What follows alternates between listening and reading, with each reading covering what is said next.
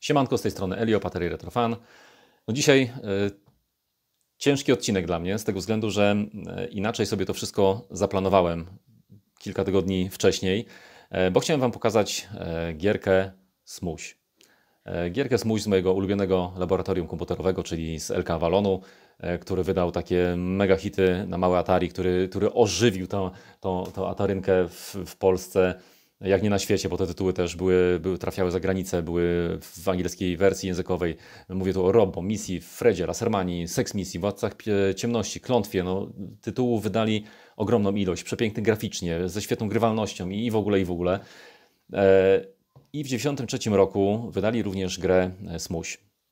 E, gierkę dopadłem jakoś później, zdecydowanie później, bo to już był okres, kiedy na horyzoncie gdzieś tam widziałem, widziałem peceta, E, więc no, dorwałem ją, ale już z taką świadomością, że będę miał inny komputer, że już za niedługo ta Atari się będzie u mnie w domu kończyć.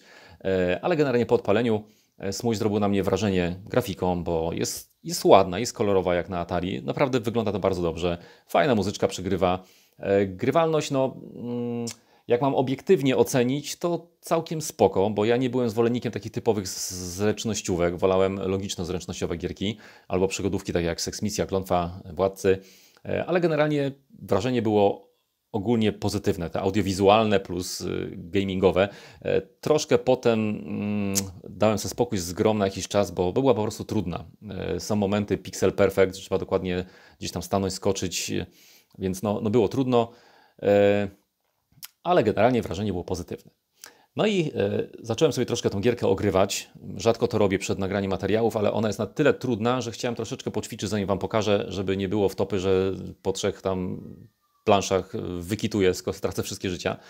E, no i tak sobie ćwiczyłem, ćwiczyłem, przygotowałem się do tego materiału i 13 sierpnia na kanale e, mojego kumpla Maćka z kanału Retrobajtel e, Serdecznie polecam, bo gość robi świetne materiały o grach, e, świetnie się do nich przygotowuje. E, przedstawiając historię tych gier, twórców, e, gdzieś tam materiały w zachodniej prasie odnośnie gierek, także szacun Maciek za Twoje materiały, a jeżeli ktoś jeszcze nie zna kanału Maćka, nie subskrybuje, naprawdę zajrzyjcie na Retrobajtla, e, bo warto. Maciek pokazał gierkę DJ Puff. No i obejrzałem sobie ten materiał, znaczy zacząłem oglądać, tam była ta historia, wszystko fajnie, ładnie, pięknie, jak to Maciek opowiada i nagle pojawiły się pierwsze sekundy gameplayu i po prostu kopara mi opadła, oczy wylazły, bo y, gierka, którą przygotowywałem, Smuś, była uderzająco podobna do tego, co pokazał Maciek. Na tyle uderzająco podobna, że kurde, y, gdzieś tam się w głowie zrodziło, ja pierdzielę, y, jak chłopaki, przepraszam, ktoś mi wchodzi? Piotruś? Piotruś mi wchodzi. Jeżeli chłopaki nie miały y, licencji od Codemasters, czyli twórców y, DJ Puffa, no to mega słabo, bo totalna zżynka tak wielu elementów. Jak obejrzałem materiał Maczka do końca, to ilość rzeczy, która została zapożyczona do Smusia jest, jest, e, siema, jest uderzająca. E, no i totalnie się zmieniło moje nastawienie do tej gierki, do, do gameplaya, który za chwilkę zobaczycie, sami ocencie. E, nie, nie gameplay, tylko zobaczcie może najpierw materiał Maćka o DJ Puffie, e, a potem mojego Smusia, no i Zobaczcie, co tu się porobiło, co o tym myślicie, dajcie znać w komentarzach. E, no co, ja zaczynam grać. Czekam na Wasze komentarze. No i nie ukrywam, że czuję spory, spory niesmak do, do Smusia teraz i jakiś taki zawód w stosunku do LK Avalonu. Może się mylę, mam nadzieję. Dobra, nie przedłużamy. Zobaczcie gameplay. A, chodź tu chłopaku do mnie, mój kochany. Na razie, oglądajcie. Już możesz przestać machać, Piotrek. No. Dobra, odpalamy atarynkę. Plik e, Smusia jest, już ustawiony na SI to SJ Kurde, język mi się plącze. E, powiększymy sobie na cały ekran. Mamy już ekran ładowania. No, grafika powiedzmy średnia, ale to, to akurat tu nie jest istotne. No bo w samej grze trzeba obiektywnie przyznać, że grafika jest ładna, kolorowa. E, podobała mi się wtedy, podoba mi się teraz. Niestety nie jestem w stanie ograć dzisiaj tej gierki tak, jak była zaplanowana, bo po zobaczeniu tego materiału u Retrobitla no to e, jestem bardzo już krytycznie nastawiony do tej gry i, i mimo, że serducho mi podpowiada, nie, nie podpowiada, serducho chciałoby, żeby LK Wolon miał jakąś umowę z Codemastersem i wierzy w to serducho, że, że to wszystko, co tutaj się w tej grze teraz znajduje, to jest jakaś zgoda, jakaś licencja, ale tutaj rozum podpowiada, że tak nie jest. Jest to po prostu zerżnięcie, totalne zerżnięcie DJ Puffa. Ok, zaczniemy od tego, jak gierka wygląda i jakie są różnice. E, z punktu widzenia tarowca jest świetnie, jest kolorowo, jest ładnie graficznie, naprawdę fajnie się gierka prezentuje. I zacznę opowiadanie od różnic, które są w stosunku do DJ Puffa. Tak jak mówię, tego miało w ogóle nie być. Miałem sobie po prostu grać i opowiadać, co tu robimy w gierce, jak skaczemy, co zbieramy, co się dzieje, ale już niestety nie potrafię. E, pierwsze skakanie. W DJ Puffie e, tamten smok potrafi skakać pionowo w górę, co bardzo ułatwia życie w niektórych sytuacjach. Ten skacze tylko po skosie w, w kierunku, gdzie, gdzie patrzy. Pierwsza różnica. Druga, e, która mi troszeczkę przeszkadzała za młodu, a teraz po obejrzeniu filmika Maćka przeszkadza mi zajebiście i nie potrafię tego teraz przecierpieć, to jest anemiczne tempo poruszania się tego smoczka, jego latania w porównaniu do DJ Puffa. E, to w jaki sposób on, on skacze powoli, jak spada długo, jak czasami nie trafimy w jakąś kładkę spadając i lecimy jeszcze bardziej w dół, to po prostu trwa wieczność. Nawet 15 sekund potrafi jakiś nieudany skok trwać i, i to no, no rozpierdziela. No, zniechęca się człowiek niemiłosiernie do tej gierki. Trzecia różnica, mm, totalnie drastyczna i która jest do dupy tutaj, popatrzcie. Przeskakujemy sobie na tą kładeczkę tutaj i uwaga, skaczemy wyżej, patrzcie jest przeskok planszy, nie ma scrollingu. DJ Puff ma scrolling. To jest ogromna różnica i widząc tamtą gierkę, no kolejny potężny niesmak, który pozostaje. E, dalej. Mm, teraz przyjrzymy się rzeczom, które e, no są al albo na licencji, albo zerżnięte. Sami, sami ocencie. Popatrzcie, no, sama budowa planszy wiadomo, te, te platformy, te ruchome elementy platform, te tutaj po prawej stronie kolce wystające, no to jest identyczne jak w DJ Puffie, ale spójrzcie na te przeszkadzajki, które chodzą. Ten gościu po lewej stronie z tymi kolcami na głowie, taki sam występuje w, tamtej wersji na Commodorku. Ten ślimak na dole, to samo. Jak się poprzyglądacie wszystkim stworkom, które tutaj na poszczególnych mm, planszach będą się pojawiać, no, nazwijmy to uderzające podobieństwo E, tak samo w DJ Puffie, no tamten słoń, smog zbierał e, płyty kompaktowe. No tutaj też zbieramy coś, co tak wygląda, jest okrąglutkie i jest podobne. E, ta maska, która tutaj jest po prawej stronie, widzicie, to samo, tam też te elementy występują. Pokażę Wam jeszcze właśnie te, te płyty kompaktowe, tylko żeby się tu nie dać zabić. Właśnie zginąłem, ale, ale jeszcze raz sobie tam spróbujemy się dostać. Przez chwilkę jestem nieśmiertelny teraz, więc, więc spoko. E, Wam to, co właśnie będziemy zbierać. E, no jest też uderzająco podobne.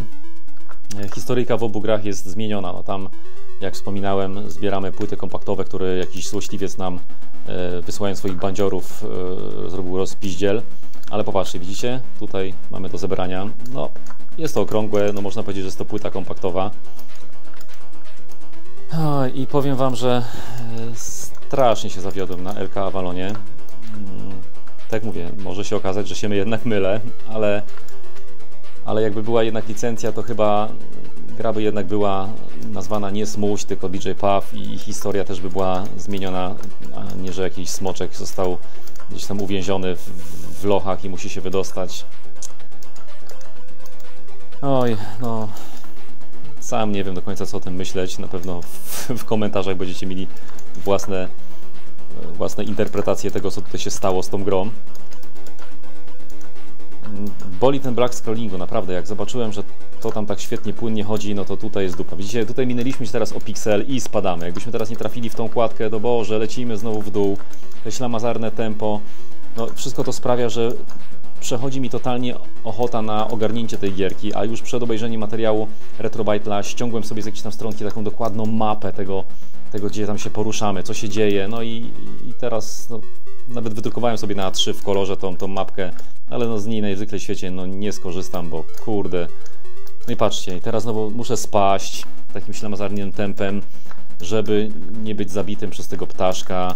Teraz znowu tutaj się muszę zaraz synchronizować z tym, kurde no. Nie no, beznadziejne to jest. to jest. I znowu nie trafiłem, i znowu spadam.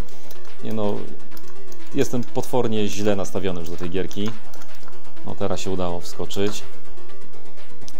Myślę, Maciek, że jak zobaczysz ten materiał u mnie w całości i, i przypomnisz sobie, w co grałeś parę dni temu, to gały ci wy, wyjdą, a potem po prostu się będziesz śmiał, w jaki sposób to zostało zrobione. No.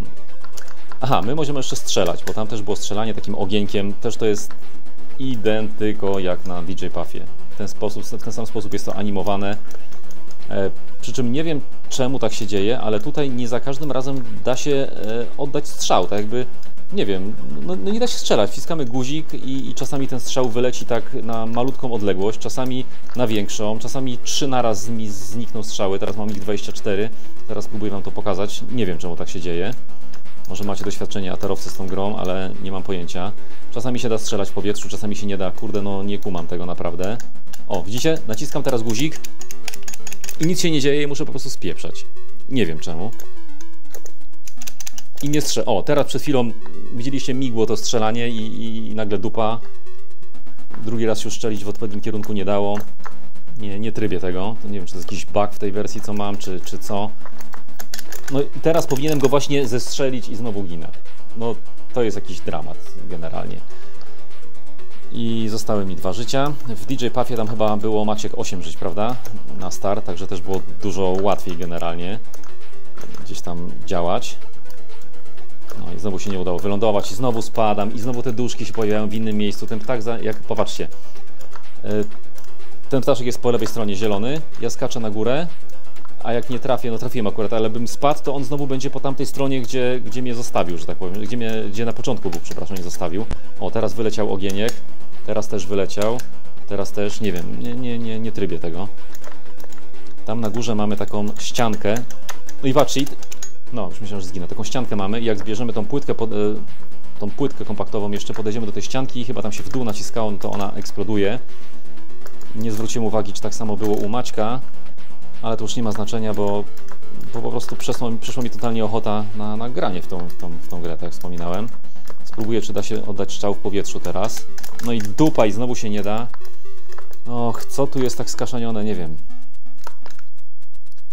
Grafa ładna, muzyka ładna, ale jak już się ma tą świadomość, że kurczę, jest to zerżnięte, to aż boli. No, jak to się rozwala? O, dobra, rozwaliło. Przechodzimy dalej. Znowu ten ślimaczek, znowu gościu z kolcami. E, generalnie jak tą mapkę sobie wydrukowałem, to tych, tych takich komnat jest niemiłosiernie dużo i e, przejście gierki, e, na przykład jakby gruby chciał przejść, to przy tym ślamazarnym tempie latania, spadania, to myślę, że ze 3 godzinki by zajęło, tak perfekcyjnie grając jak gruby. Więc to jest porażka. W ogóle grafika i styl grafiki bardzo mi też przypomina Wikiego. E, całkiem fajną gierkę na Atari. Mam nadzieję, że ogram ją w tym roku. No i znowu szczelak nie idzie, no i jest dupa, no, no to jest wkurzające. To nie jest kwestia, że musi jakiś czas minąć od, do, do strzelenia, bo czasami sieka pod rząd kilka razy, a, a czasami się nie da piernąć nawet przez kurna minutę, nie wiem. No i teraz spadam i patrzcie na to. Ja pierdyle jaki żal. I patrzcie jak on leci, nie? I zginę. No nie zginę, bo się ten akurat wycofał. Żal.pl i nie strzela i w ogóle dupa. Nie, ja nie gram już w to. Dobra, jeszcze mam jedno życie. Nie, ale widzicie, można się naprawdę wpienić na ten czas czekania, na to, że nie można strzelić. Nie wiem, nie ogarniam tego. Teraz pewnie zginę jeszcze od tego ptaszka, bo nie zdążę podskoczyć i nie da się... Jest, udało się, dobra. Jak teraz się nie będzie dało tego niebieskiego zabić, to, to wyłączam. O, masz szczęście. A teraz się tego nie da. Och. Mi się ciepło robi z, z nerwów. I patrzcie, i no i teraz ledwo tak wypuszcza z siebie, nie wylatują dalej, tak jakby się klinują na jego pysku, patrzcie. A, a ubywa ich cały czas. No, no masakra jakaś. O, teraz wyleciały. Dobra, 10 e, minut, nie ma sensu więcej grać. Mm, jestem niesmaczony, zdegustowany. Maciek, zepsułeś mi radość z grania w tą grę. E, ale mam już komodorka i zagram sobie z największą przyjemnością w DJ e, Puffa, jak, jak już będę miał jakiś sprzęt, który ogarnie odtwarzanie plików z neta ściągniętych. Co? Tyle na dzisiaj. Trzymajcie się, dajcie znać w komentarzach, co myślicie o tym wszystkim, co tu się wyprawia na tym ekranie. Na razie.